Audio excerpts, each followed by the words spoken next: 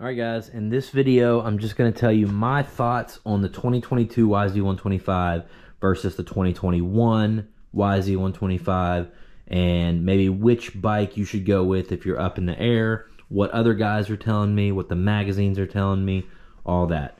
So, first of all, yes, we did gain one horsepower, peak horsepower for the 2022 model.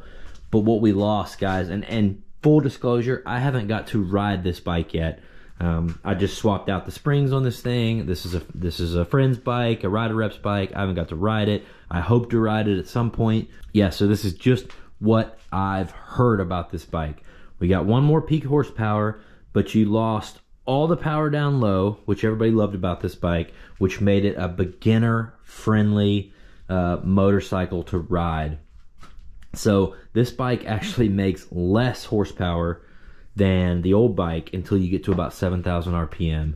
So, you know, 125s has to be ridden on the pipe anyway, but this one even more so. It, it does all its performance on the pipe, where the old bike um, was a lot easier to get on and off of, ride on the bottom, beginner to intermediate friendly.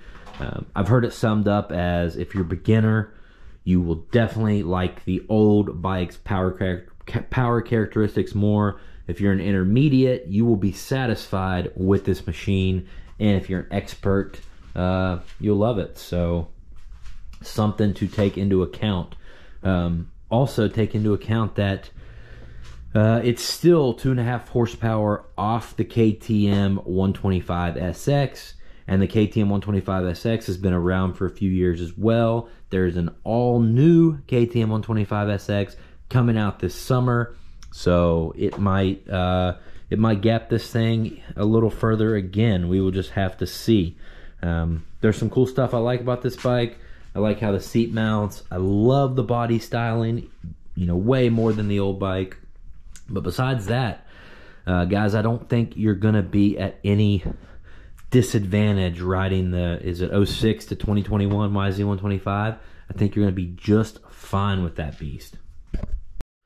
Another thing to keep in mind, guys, 125 two strokes have always felt tall.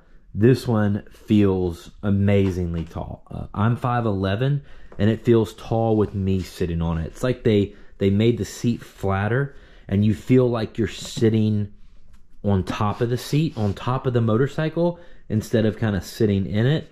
Let you know more so than the other bike, at least. So it's definitely an interesting um, profile. And I think Yamaha claims that this new seat is six millimeters lower in the front, but five millimeters taller in the middle as far as handling guys, you're gonna, I mean, it's the exact same shock as the old bike. It's 99% the same forks. Uh, it's the same swing arm. It's the same frame. Um, it, this bike's gonna feel very similar in handling to an old bike. So, just wanted you guys to be aware of this. Um, you know, if, if you're an expert, you're definitely going to get some benefit out of this bike because it's going to perform better than the old one at the very, you know, at the top of the power band, mid to high. Um, if you're more of a beginner guy and, and, you have a deal out there on a 21 or older, uh, don't be afraid to jump on that thing because it's probably going to suit you way better than this 2022 will anyway. So that's just some information I wanted to get out there, guys. I had some people comment and ask me what I thought about this bike, so I made a series of videos. Uh, I'll link them all down below. You guys can check them out on my kind of first impressions. And um, when I'm able to ride one, I'll make another video on riding it, and uh, that'll be my after ride impressions. So, but for now, this is all I've got. So, thanks so much for watching, guys. If you appreciate these kind of videos, if you could go down to the bottom and, and hit the subscribe, I really would like to earn your subscribe.